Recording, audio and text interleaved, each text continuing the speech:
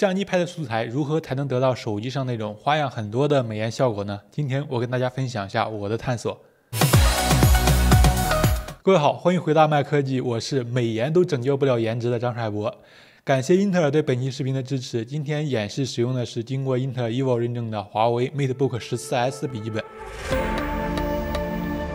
英特尔 Evo 认证是英特尔工程师基于咱们日常使用环境对笔记本进行测试，其中测试项目达到了二百多项，确保笔记本在使用过程中可以满足咱们用户的需求。通过 Evo 认证的笔记本会拥有超快的唤醒能力、更长时间的续航、更快的充电速度、充足的扩展性以及对于 WiFi 六的支持等等。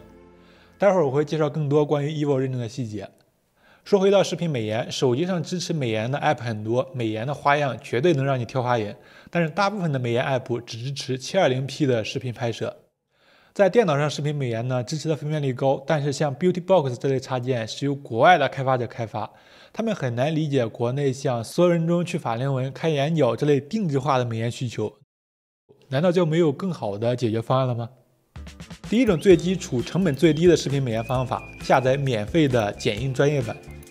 选中素材以后，右上角有磨皮加瘦脸两个选项，瘦脸功能很直观。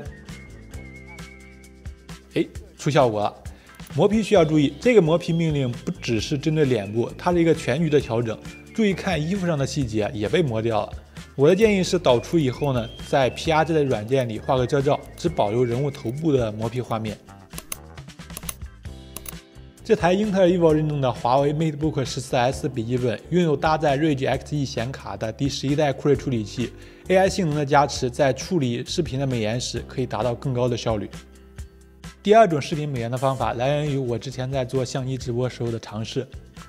相机的信号在经过采集卡传输到电脑上以后，在直播摄像头的属性里有很多美颜的选项，咱们可以使用这个美颜功能，我详细设置一下。现在是在直播伴侣这个软件里面点加号摄像头啊，选择采集卡的信号。我这里用的是 Camlink 4K 采集卡，格式呢选 1080P 30fps，色彩空间709，色彩范围全部。在美颜设置里，你可以根据自己的需求，在这十六个选项里边选。咱们试一下顶配，把所有选项拉满是什么样的状态？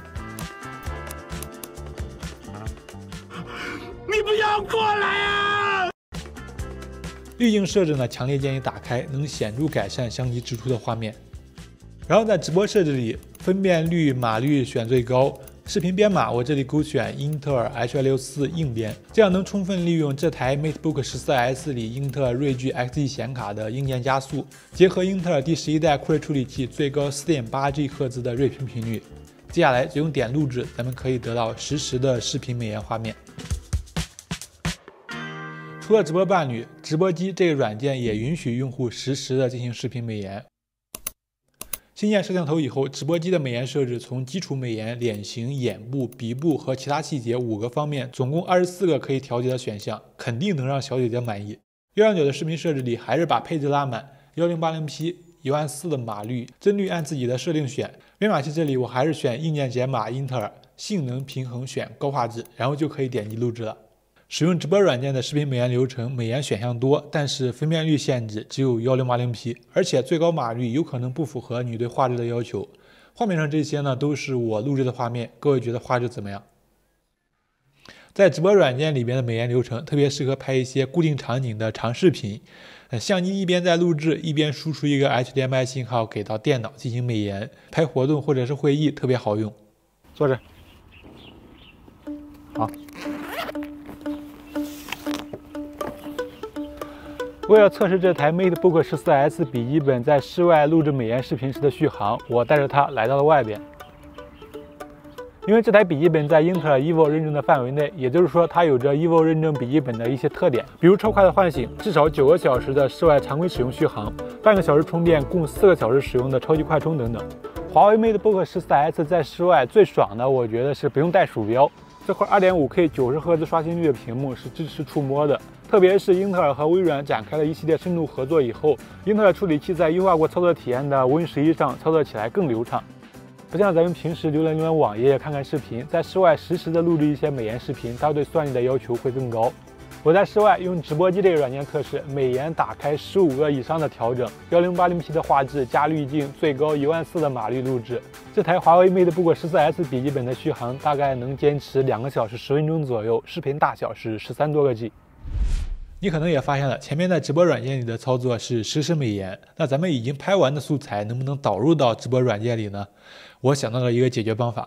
首先呢，咱们下载 OBS 这个免费软件，在来源的位置加一个媒体源，点循环，点启用硬件解码。现在视频会在画面上一直循环播放。在设置菜单里，把输出的参数和画布的分辨率还是调到最高。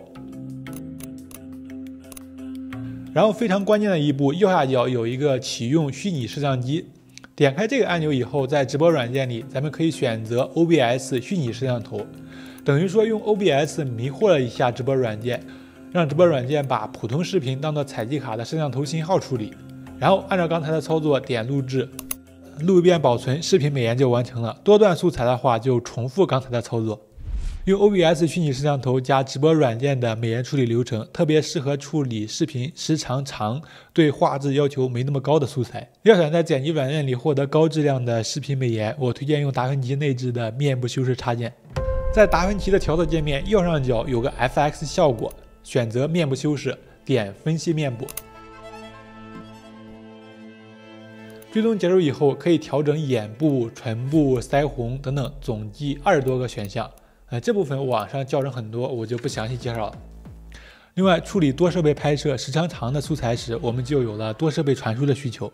这时，英特尔 Evo 认证笔记本搭载的雷电四接口就可以用上了。它可以兼容市面上比如 USB、PD、DP 等主流接口，而且传输速度可以达到四十 Gbps，非常实用。OK，以上就是本期视频的全部内容了。求点赞，求评论，求转发，求收藏。咱们下期视频见。